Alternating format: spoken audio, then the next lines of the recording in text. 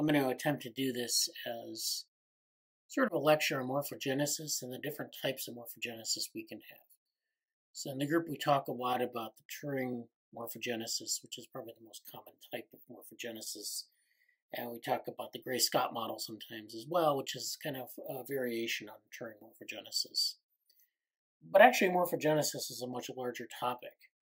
And if you go to the Wikipedia pages associated with morphogenesis, you know, they have a discussion on this. I'll draw a little bit, tiny bit from some of the Wikipedia entries, but also some of the other uh, things that I've have collected on this topic. So I'm going to divide this up into different dimensions of morphogenesis, one-dimensional, two-dimensional, three-dimensional, and then talk about Laplacian growth in bacteria, which is outside the realm of what we think about as, say, embryogenetic morphogenesis, but is nevertheless morphogenesis. It's just that we have it characterized in a different way. So the first example is one-dimensional morphogenesis. The first example is this Rayleigh-Benard convection, and this can be seen here in this video. This red flow at the bottom, the blue flow at the top. Fluid, these fluid flows are going to migrate towards one another. And as they flow towards one another, you get these, these fluid dynamics, these turbulent fluid dynamics moving towards one another. So we're going to eventually, I guess it's going to come together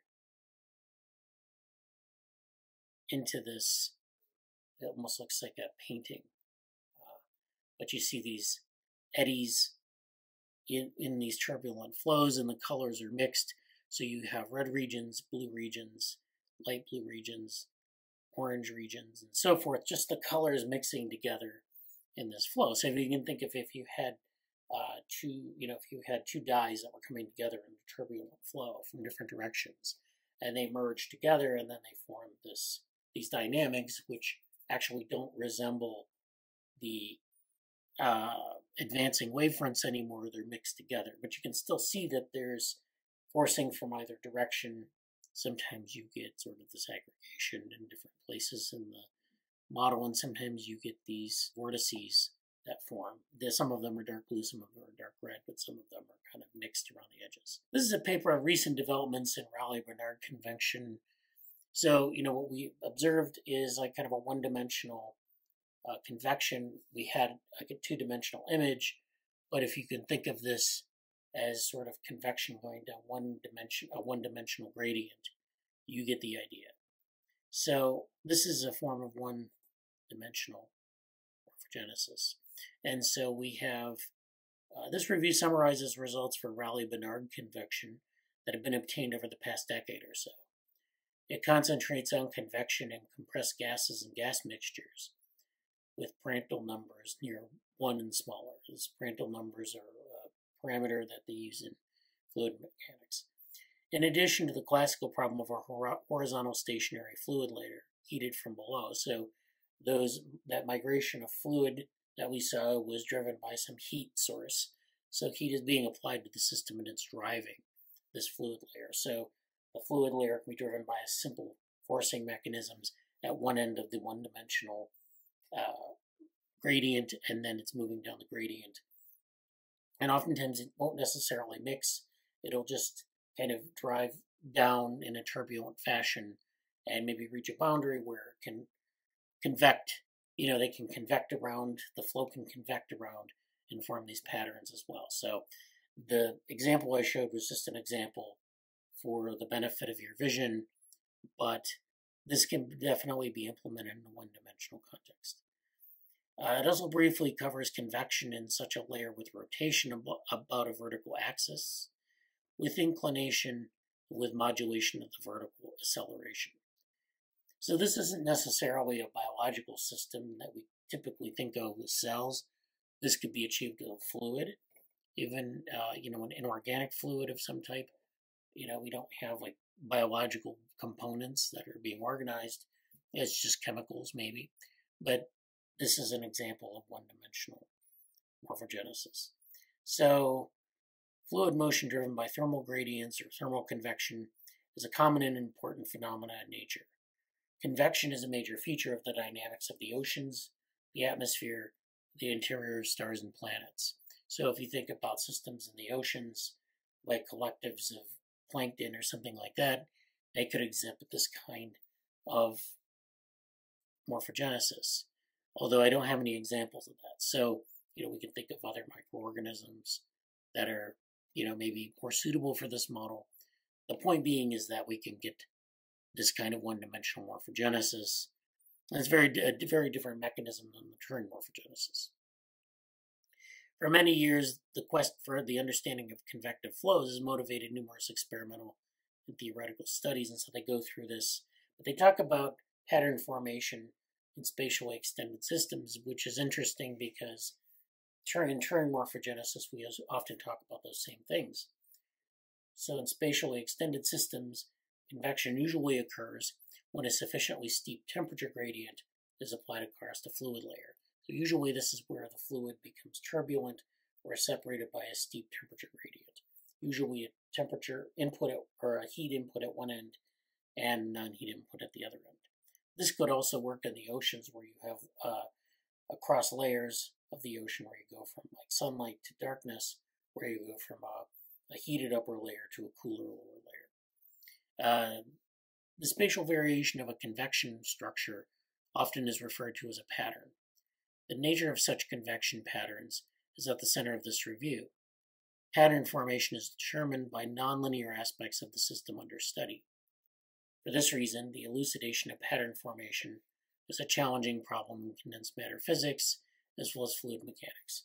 And so pattern formation is also a common factor in many other spatially extended nonlinear, non-equilibrium systems. Patterns observed in diverse systems are often strikingly similar, and their understanding in terms of general unifying concepts has long been a main direction of research.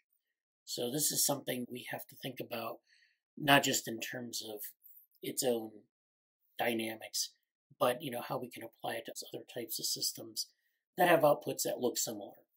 And of course, as we know the lesson from that that we talked about earlier, is that just because things look similar in a qualitative way doesn't mean that they're the same thing. But also, if you have things that are characterized with different types of models, they might actually be sort of the same phenomenon. This is an example you can find outside of fluid dynamics, and this is called Fisher's equation. So this was something that Ronald Fisher developed, and it actually goes back to the early days of population biology and population genetics. Fisher's equation captures this sort of phenomena where we use partial differential equations, and we can see an example here, to model a kind of reaction diffusion system that models what we call wave propagations. So as you saw in the original uh, video I showed you, you have these propagating waves of turbulent fluid and they're coming together and they're, form, they're forming this mixture that's high, you know, that has really rich dynamics. In this case, what we're doing is we're using a partial differential equation to model a reaction diffusion system. We're using a wave of some type to model that wave and then to model population growth along with wave propagation. And this is the kind of simulation result you can get for that. So Fisher's equation belongs to the class of reaction diffusion equations. So there are a whole class of reaction diffusion equations. So the idea is that in a population, you have members of the population that are interacting.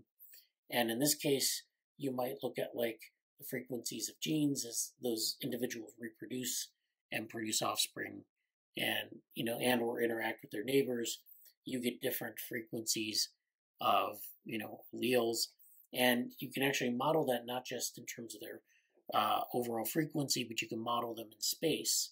And so when you model them in space, they form these waves that propagate throughout the population or propagate throughout space. And so certain configurations can dominate that space over time. And so this is uh, one of the simplest semi-linear reaction diffusion equations, the one that has the inhomogeneous term. This FUXT, which is, of course, uh, RU1 minus U, so this is a very easy equation to work out. This exhibits traveling wave solutions that switch between equilibrium states given by function FU equals zero. So at equilibrium, you get this these solutions that switch between different equilibrium states. Such equations occur in ecology, physiology, combustion, crystallization, plasma physics, and other f- problems involve phase transitions. But this actually comes out of this work in 1937 on the wave of advance of advantageous genes. So this is how basically genes propagate, or advantageous genes or alleles propagate through an evolving population. And so, you know, this is very different from your fluid dynamics example. Different dynamics, different transmission dynamics, but we still get the same phenomenon that we can use to model these these kinds of things. And so this kind of goes. This is from Wikipedia. This goes through some of these uh, the details of the equations. But what's really interesting about this is that you can take this idea of one-dimensional morphogenesis and apply it to a large number of systems, not just fluid dynamics. Now we get to two-dimensional morphogenesis, and of course this is our Gray-Scott model. This is Gray-Scott on a torus, so this is the Gray-Scott model, which is mapped to a torus, and you can see that there these propagating patterns across the surface of the torus. Uh, so you have these different uh, growth centers that kind of merge together, and they form this complex pattern. This looks like something that you might see on the uh, coat of a lizard or something. And so this is showing how this propagates across this two-dimensional surface. This is actually a three-dimensional torus, but the idea is that you would have like a flat surface and it would propagate across in both your x and your y dimension. So this process is driven by a two-dimensional uh, set of interactions. So we can talk about the Gray-Scott model, we can talk about the Turing model, but we can also talk about another set of models. And one of these, of course, so let's let's first of all go to this one. So this is an example of our Gray-Scott model torus here. And we can talk about reaction diffusion systems more generally. Uh, reaction diffusion systems are mathematical models which correspond to several different physical phenomena. The most common is the change in space and time of the concentration of one or more chemical substances. So we have, in two dimensions, we have space versus time. So we can look at things in space along one dimension, time along one dimension, or we can have multiple spatial dimensions and use time as sort of an evolving parameter. So we can look at different chemical reactions in different locations in two-dimensional space and how those diffuse across different constituents and how they might change their state or how chemical reactions can spread in two dimensions and generalize it out to say like a three-dimensional torus. Or we can look at that time dimension versus that one-dimensional space and we can look at like a chemical substance that's moving over time. And so we can do the model this in a number of ways. We have these local chemical reactions in which the substances are transformed into each other, and diffusion, which causes substances to spread out over a surface in space. So we have reactions and we have diffusions. So the reactions change the state of something locally. Diffusions are movement of the signal across space. We can actually think of the reaction and the diffusion as the two dimensions as well. Reaction diffusion systems are naturally applied in chemistry. However, the system can also describe dynamical processes of non-chemical nature. So those examples are found in biology, geology, and physics. So you find this in geology with rock formations and, and uh, biogeochemistry. You find this, of course, in biology with uh, morphogenesis and in other uh, forms of this reaction diffusion type of model. We find it in physics, we find it in ecology. Mathematically, our reaction diffusion system takes the form of semi-linear parabolic partial differential equations, which can be represented in this form. And we can do this with, you know, uh, working in one spatial dimension in plane geometry. We have this traveling wavefront solution for Fisher's equation, which we saw in the example of one-dimensional morphogenesis. And then we can have two-component reaction diffusion equations so two component systems allow for a much larger range of possible phenomena than their one component counterparts. The way they treat this is they think of the one dimensional morphogenesis as the one component reaction, basically just like a reaction system or a diffusion system. In this case, we have a two component reaction diffusion system. So those things are separated out instead of being treated together. So two component systems allow for a much larger range of possible phenomena. An important idea was then first proposed by Alan Turing, is that state that is stable in the local system can become unstable in the presence of diffusion. So, in other words, if you have something that's stable in a reaction, that's fine in the local system. If you diffuse that signal and it becomes global, then it can become unstable. So if you think about your, you know, how you have it in Turing morphogenesis where you have your different gradients. If you're in one chemical gradient, something might be stable. If you move to the other chemical gradient, it might become unstable. And so this is why you have boundary formation where two gradients come together, because in that case, those two gradients are diffusing, and then at some point they interact, and that interaction causes an instability, which then builds that, that boundary. And so this is an important part of this kind of model, the two-dimensional model, or two-dimensional morphogenesis, is that there are two different components. There are two different compartments that we model it in. So this is an example of a subcritical Turing bifurcation where we get the formation of a hexagonal pattern from noisy initial conditions in the above two component reaction diffusion system. So this is getting kind of previewing the Fitzhugh-Nagumo type of reaction diffusion system. This is where we have noisy initial conditions at t equals zero, so in time equals zero, and then you have the state of the system at 10 iterations where you start to get these sort of formations, these local sort of instabilities. And then you have this almost converged state at t equals 100, where you have these uh, cells basically that form out of this noise. And so you can get this sort of self-organization through this sort of two-component system. So this is another example where we have a spiral that is evolving into something else. So we have the spiral, a rotating spiral, a target pattern, and a stationary localized pulse.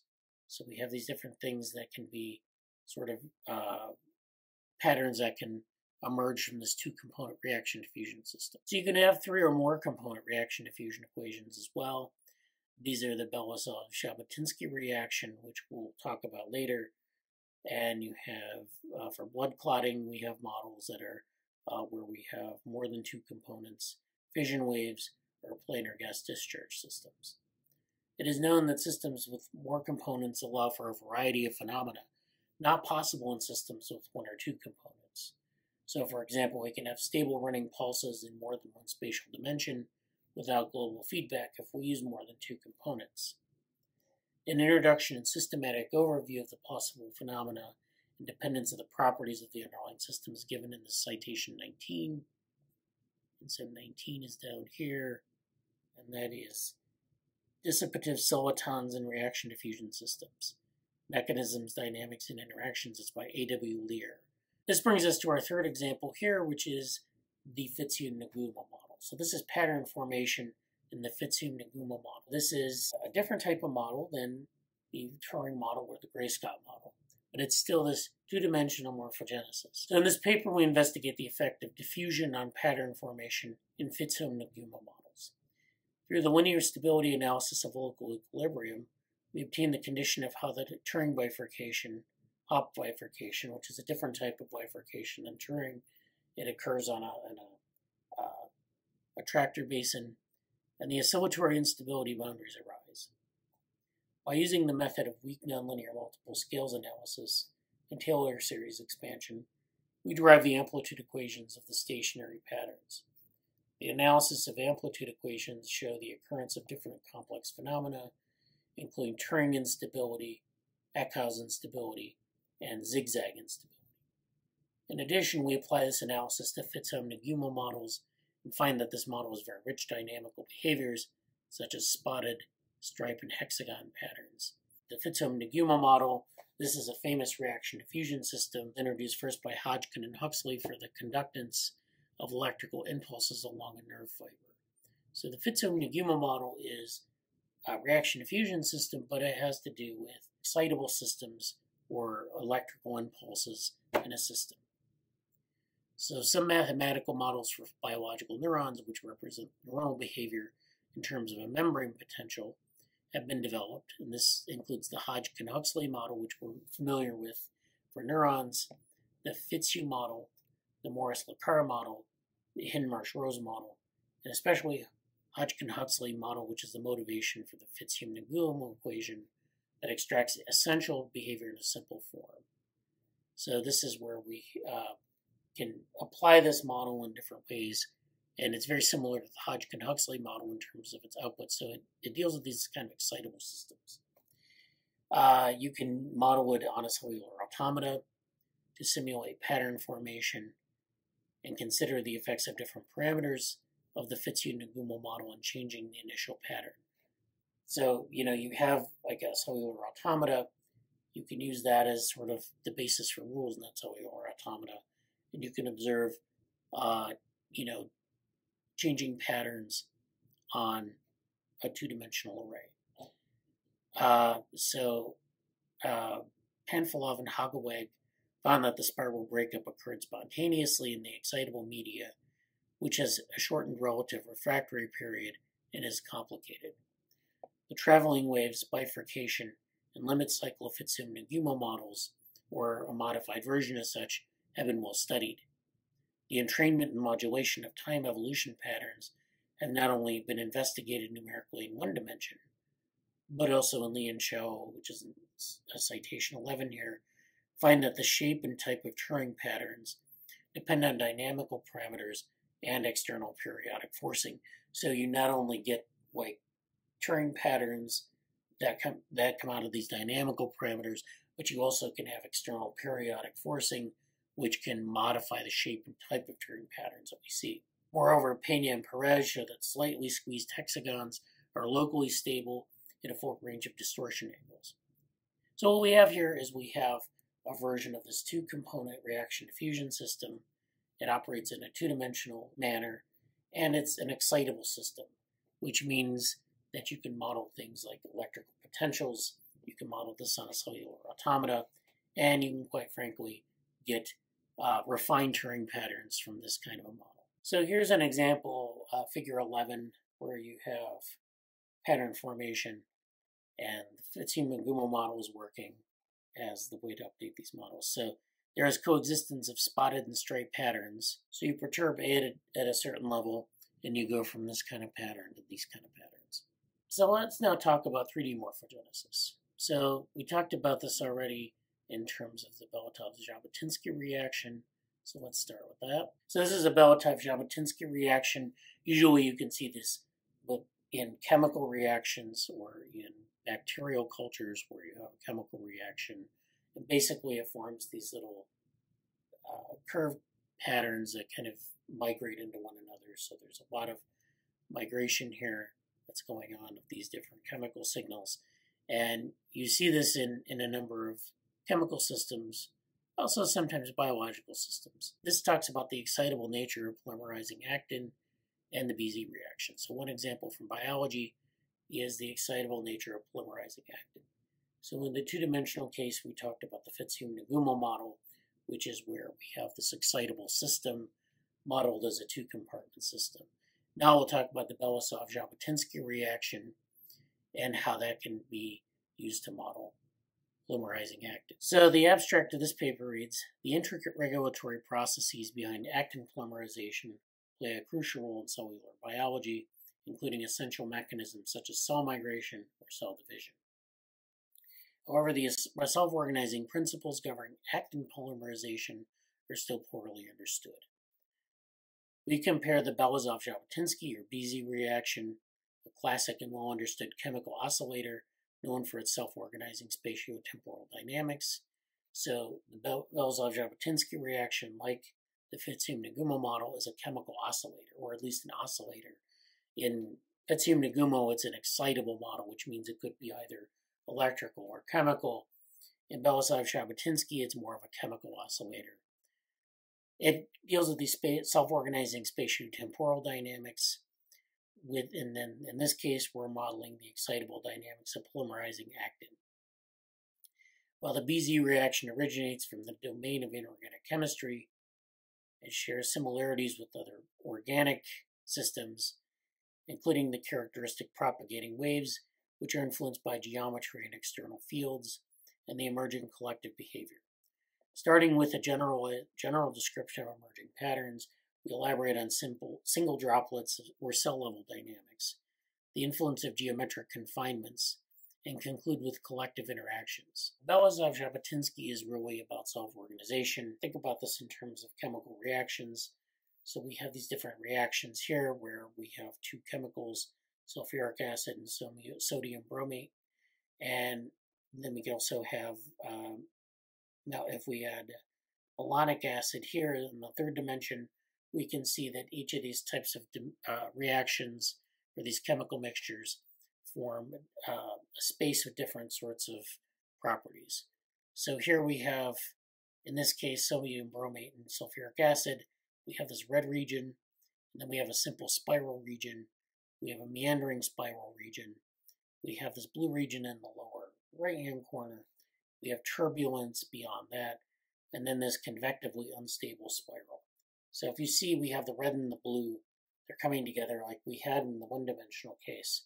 But in this dimensional case, we have all these different modes of spiral behavior. So we have all these different types of spiral behaviors in between the red and the blue.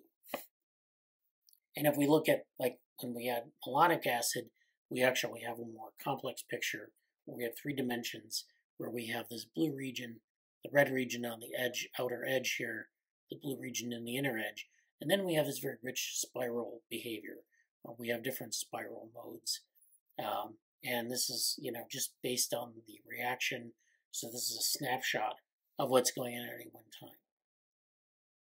This is an example here where we can observe patterns of the spiral formation and the evolution of spiral patterns. So we have these uh, concentric circles here.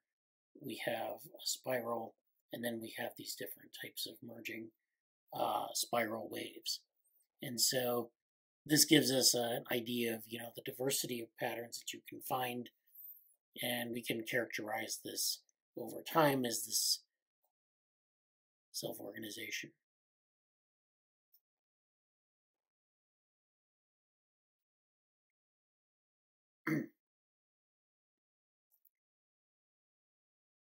So figure two describes sort of the mechanistic parallels between that simple chemical system and cell migration. So in A, which is up here, cell migration involves many coordinated steps. In B, we have an oscillating chemical reaction inside a BZ droplet.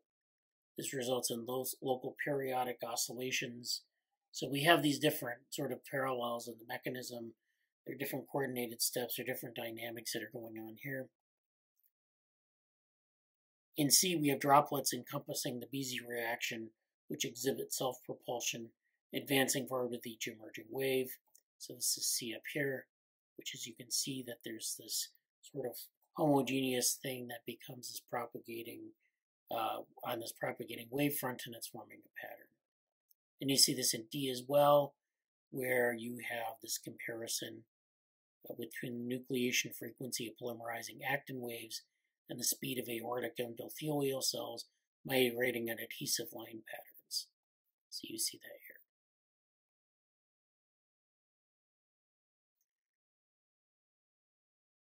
And so in E, you have a traveling wave uh, form across the communicating oscillator droplet encapsulated within a bilayer membrane, which is here. In F, we have a schematic of an array showcasing six oscillating droplets surrounded by a lipid membrane within an emulsion system, and from the time series derived space-time plot of each droplet so that's here. And then G is where we have an image illustrating the collective migration of aortic endothelial cells along the ring-shaped adhesive pattern. So that's here. And so actually when we get to this point, we see that this looks a lot like our two and three dimensional cases or two and three dimensional plots of a BZ reaction. It's very similar. That's the rationale they used to map this to a biological context. And so finally, we can finish the 3D morphogenesis part by talking about morphogenesis in kelp. And so kelp species actually exhibit this kind of morphogenesis as well. So in this case, they talk about the shift to 3D growth during embryogenesis of kelp species. Uh, then in this paper, they also uh, propose an atlas of cell division and differentiation in this species of kelp. So the abstract reads, in most organisms, 3D growth takes place at the onset of embryogenesis. In some brown algae, 3D growth occurs later in development when the organism consists of several hundred cells. We studied the cellular events that take place when 3D growth is established in the embryo of the brown alga Saccharina, a kelp species. So this is Saccharina latissima, and oftentimes they'll just use the genus name because we don't necessarily know what the species name is sometimes. So uh, we can't distinguish the species easily. So uh, semi-thin sections taken from our growth shifts from 2D to 3D. So they, they did the sectioning of the uh, specimen. They wanted to look at where growth shifts from a two-dimensional context or three-dimensional context. This shows that 3D growth first initiates from symmetrical cell division in the monolayered lamina, and then is enhanced through a series of asymmetrical cell divisions in a peripheral monolayer of cells called the meristoderm. Then daughter cells rapidly differentiate into cortical and medullary cells, characterized by their position, size, and shape. In essence, 3D growth in kelps are based on a series of differentiation steps that occur rapidly after the initiation of bilayered lamina. So again, we get this bilayered lamina, we get these differentiation steps, and we get this pattern formation. So they're not linking this directly to Belousov-Zhabotinsky reactions, but this is another part of three-dimensional morphogenesis that, in, based on the last paper, we can make some parallels with. Our study depicts the cellular landscape necessary to study cell fate programming in the context of a novel mode of 3D growth. So in phase one, we have a simplified description of uh, growth. So these blue boxes indicate cell growth. So cell growth moves upward in a one-dimensional scale along the x-axis. In phase two, we have this growth along the y-axis as well. So we have growth along the x-axis, but we have multiple one-dimensional arrays, and they can grow, as you see here, you also have this growth along the second dimension, so it's growing wider. And then phase three, we have this depth that emerges along the z-axis, where you get growth in the third dimension. And so you get this expanding system that's migrating outward. So in fact, you have this reaction diffusion system where you have a signal diffusing in different dimensions. You have cell division. You don't really have the reaction step, but you could consider the reaction step to be maybe analogous to differentiation of cells. Actually, we have kind of a unique model of three-dimensional morphogenesis here. But we can also look at maybe pattern formation in this way.